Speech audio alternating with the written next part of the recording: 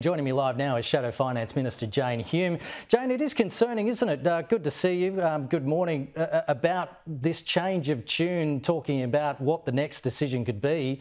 More and more, we're talking about a potential rate hike coming because of this sticky inflation.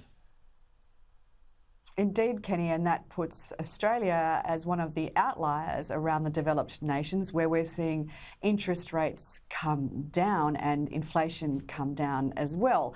Australia, however, uh, despite the fact that the RBA has put up interest rates 12 times just in the last two years alone under this government, is now saying that it is considering additional rate hikes if inflation doesn't come down.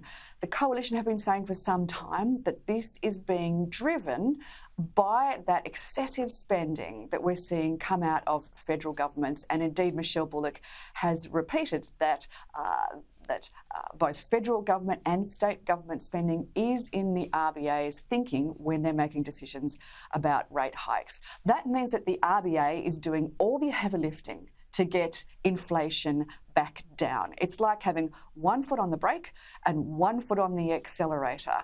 And that's why it's so hard for Australians to get hold of their cost of living because inflation is the thief in the night. It erodes your savings, it eats away at your purchasing power, and it lowers your standard of living. Unless governments can use their fiscal firepower to bring inflation back down, contain their spending, well, Australians are going to keep on suffering and paying the price for Labor's failings. Turning to nuclear now, a coalition government, so we're hearing, would so far would continue to roll out renewable energy while we wait for nuclear. But already we are seeing solar pumping out so much energy through the day that on sunny days it's sending wholesale electricity prices on some days into negative territory. Does that make nuclear financially unviable in the private sector, and that's why they will be Commonwealth owned? Kenny, Australians expect and indeed deserve cheaper, cleaner, and consistent energy. And that's the real issue here. Uh, Labor's renewables only approach, having all their eggs in one basket, is actually pushing up the price of energy. And we can see those reports coming out of Victoria today where uh, the gas that's leaving the system is only going to make the problem worse. Uh, 90% of baseload power is going to come out of our energy grid over the next 10 years.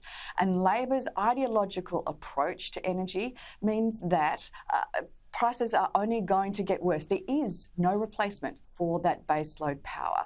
The coalition have said that in the long term, nuclear should be a part of a balanced energy mix that will, in the long term, bring prices back down.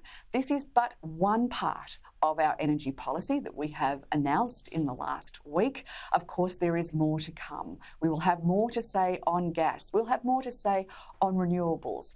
But this is a sensible, common sense approach. But has, it, has, has the coalition, sure my, my question is, has the coalition done any, any modelling as to whether a nuclear power plant, plant would be viable and stack up in the in the private sector because we do know that with re- more and more renewables coming on board that coal fired power plants are becoming less and less financially viable. Would nuclear suffer the same fate having it in the mix with renewables? Renewables.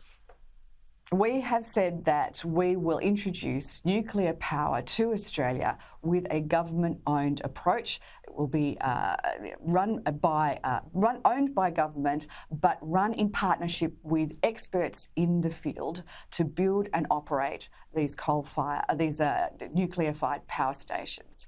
Uh, and the reason for that is that there is an expectation from the public that the government should be responsible for this new form of energy. Now, uh, in the long term, there will be uh, multiple sources of energy. There will be renewables, there will be gas, and there will be nuclear energy. And the combination of the three will bring prices down. And that's what we've seen in overseas examples. Places like Ontario, that has a proportion of nuclear in their mix, have seen their energy bills about a third of that that we're paying in Australia right now.